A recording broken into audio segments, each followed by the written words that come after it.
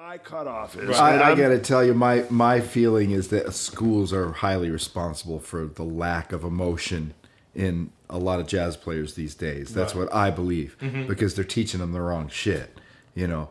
And I could go on and on and on because I'm a teacher, and I I, I I'm not bragging, but the truth is, is I teach them the right shit. Right.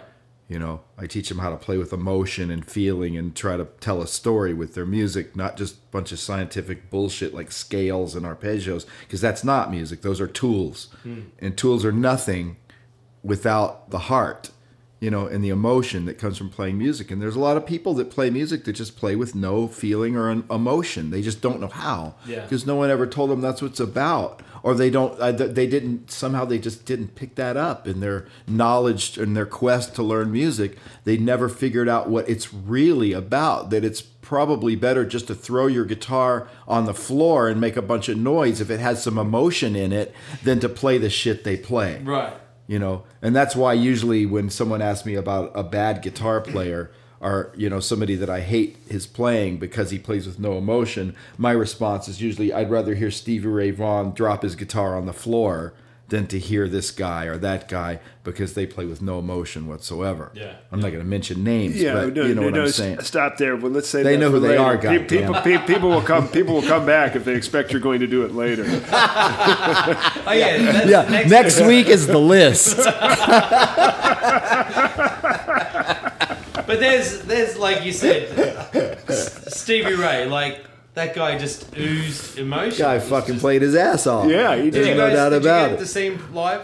huh Did you get to see him play? Yes, I saw him live three times. Wow. Yeah, just saw him. Great, man. Yeah. You know, that's it, it- in in a way. I, one of the things that I really regret is that I never got to see Hendrix live. Right. And there was a, some moments in one of Stevie Ray's tunes where, where I felt like he was channeling Hendrix to the point where I felt like I'd seen Hendrix live. Right. You know, because it was just really he was so on in this one particular tune that really called for that style of playing, Yep. a kind of just all balls out playing for it, which is not really his style, you know Mm-hmm. what I mean? But he really did get really close to Hendrix as far as the spirit of what was going on and some of the things he was playing and the way he was playing them. Right.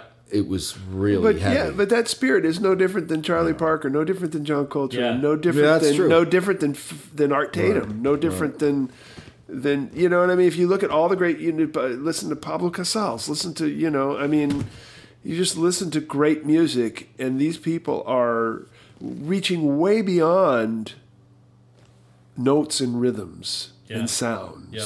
It's the human part that that that makes it and and we all have to really have to gut check why we're doing this and what we're doing it for in order to bring any of that essential element and I, I couldn't agree more with scott i think particularly in jazz education it's become an analytical thing where people figured out what people have done before analyze it and just like it's like showing somebody a car by by putting all the parts of a car on the floor Right.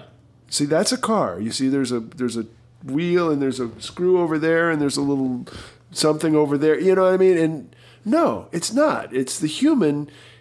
Yes, those those elements are inside it, but to, to assume that that is what makes it tick mm. is completely missing the point. Yeah. it's the hard on you get when you drive it. Right? Exactly. like not, Exactly. That's what that's what it's about. And- and it's you- like you know, there's nothing else. And, and as soon as we divorce that element from the details of it, we are doing a disservice to it. But but why do we do it? It's the only shit we can teach. You- I can't teach you to feel something. I mean, I can kick you in the balls and you're going to hurt for a while. I guess I can teach you to feel pain by that. But I mean, to teach you to really communicate that, Right. I can't do that. No, man. you can, you can. I can demand that you do it, but I, I and I can show you how I do it, Yeah. and I can show you how others have done it.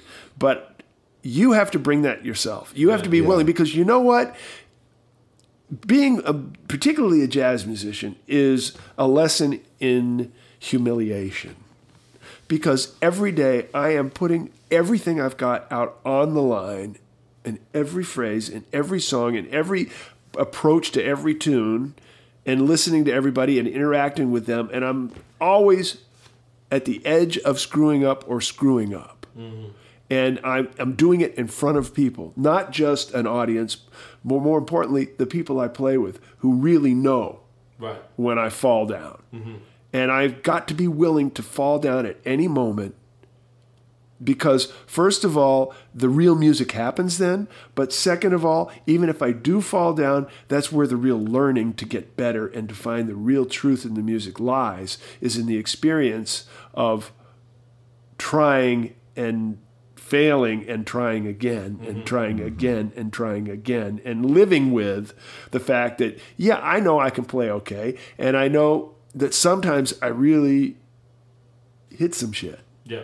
but the most of the time I just suck and and to be able to live in that world Right. and Yeah. still create and still want to go forward that is what we're talking about Yeah.